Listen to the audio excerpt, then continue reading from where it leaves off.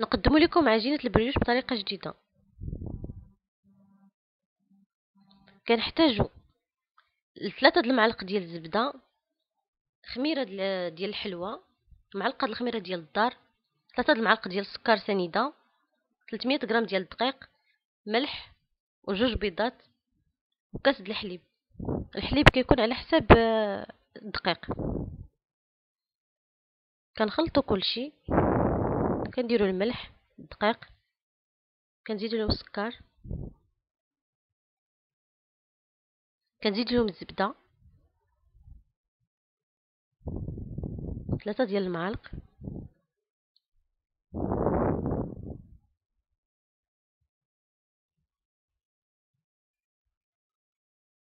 وكنخلطوا هاد المكونات هادي. كنزيدو البيض وكنخلطو. بالنسبة للخميرة ديال الدار ديال العجينة كنعملوها في كاس صغير د الحليب دافي باش تطلع لينا. ضروري الخميرة تطلع.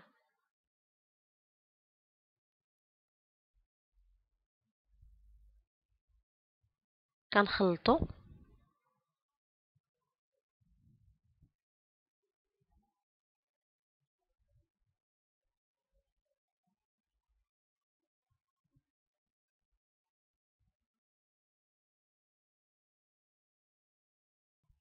بعد ما خلطنا المكونات الأولى كنزيدو الخميرة ديال الحلوى. كنضيفو لها الخميرة ديال العجينة. كنضيفو لها الحليب. كنخلطو المكونات كلها. كندلكو العجينة ديالنا مزيان. كندلكوها لمدة 20 حتى ل 30 دقيقة.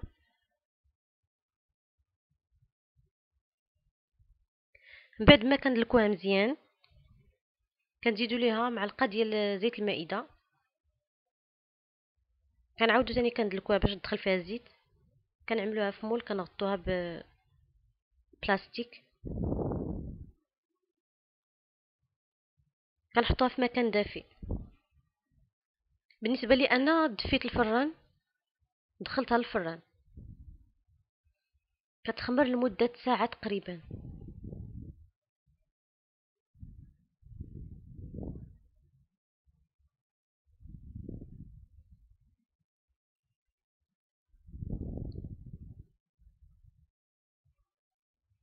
ها كما كيبان لكم أنا حطيتها في هذا المول هذا غطيتها.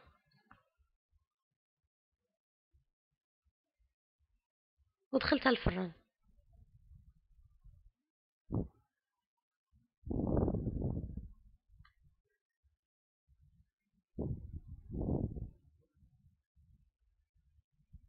بعد ما خمرت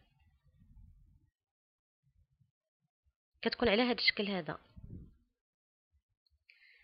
تابعوا معايا الحلقة الثانية باش نوريكم كيفاش غادي نخدموا هاد العجينة هذه